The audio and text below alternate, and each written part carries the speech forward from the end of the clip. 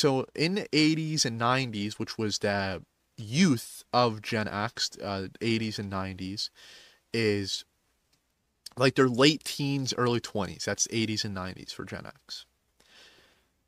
Their youth was mass violence, mass rioting, you know, and they would be they worshipped rock and roll artists and metal artists and punk rockers and there was you know extreme politics. You had the rise of like the neo-nazi movement during that era. Uh, there's a movie about it called G- american history x which is about generation x's nazi movement. And uh, you also had like the black panthers which was like the inverse of the white skinhead movement. And so you had this incredibly violent generation that worshiped rock and roll. And so most of that generation, because they worshiped rockers and punk rockers and metal heads, they ended up getting addicted to drugs like heroin, like crack cocaine and normal cocaine and meth. And they were very alcoholic and it was very common for women to go to like metal shows and get like uh, gang banged by like 60 dudes, you know, at the metal show.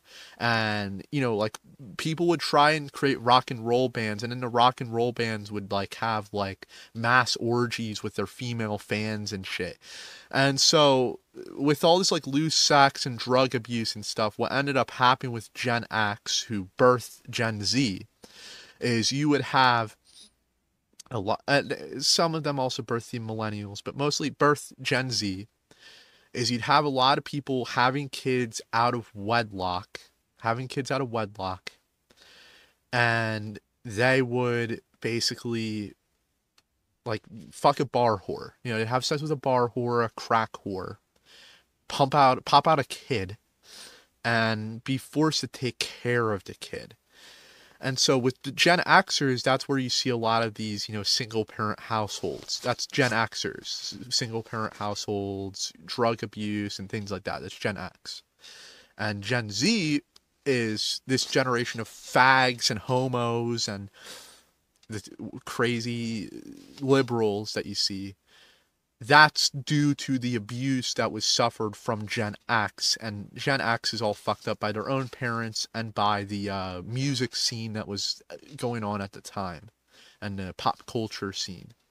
So, I'm being very specific because if you are ages 10 to 21 right now, or 25 maybe, 10 to 25, you're a Gen Xer, that was your parents' lifestyle before they had you, for most of you.